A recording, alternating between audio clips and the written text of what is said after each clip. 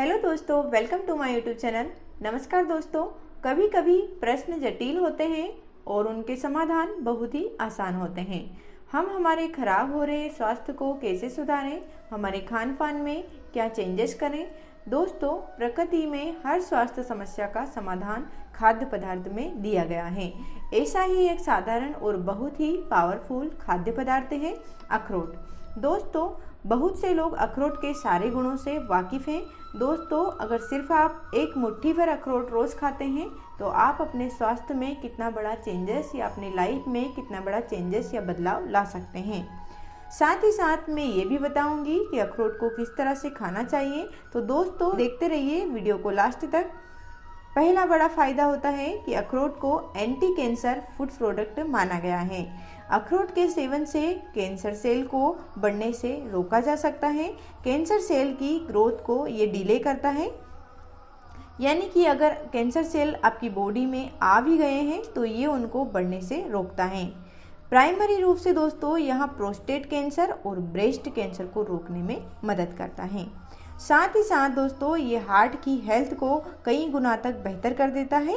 इसका कारण इसमें मौजूद ओमेगा थ्री फैटी एसिड्स होता है एवं अल्फ़ा लिनोलेनिक एसिड्स होता है, जो कि एंटी इन्फ्लामेंट्री होता है, जो कि हमारे इन्फ्लामेशन को रोकता है और आपके शरीर में ब्लड्स के क्लोट से या गुच्छे या थक्के बन रहे हैं तो उन्हें भी यहाँ नहीं बढ़ने देता है।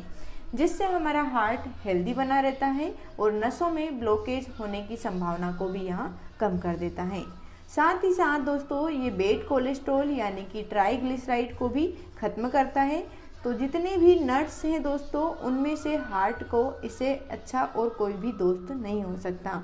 अगर आप अपने दिल से प्यार करते हैं तो मुट्ठी भर अखरोट का सेवन ज़रूर करें। अखरोट में बहुत ही पावरफुल यूनिक एंटीऑक्सीडेंट पाए जाते हैं, जो आपकी बढ़ती उम्र में उत्पन्न हुए फ्री रेडिकल्स को खत्म करने का काम करता है।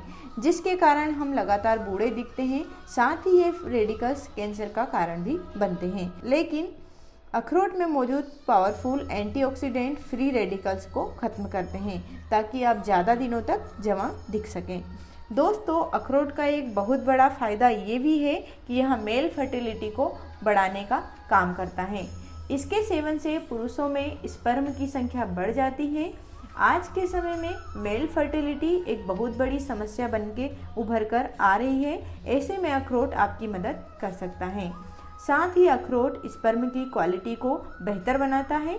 रिसर्च के मुताबिक अखरोट डायबिटीज़ टाइप टू रोगियों के लिए भी बहुत ही ज़्यादा फ़ायदेमंद मानी जाती है। दोस्तों, अखरोट आपके लीवर का भी बहुत ही अच्छा दोस्त हो सकता है। यह लीवर को क्लीनिंग का काम करता है। बहुत सारे केमिकल्स पेस्टिसाइड्स और ऑयली फ़ूड खाने के कारण हमारा लीवर खराब होने लगता है।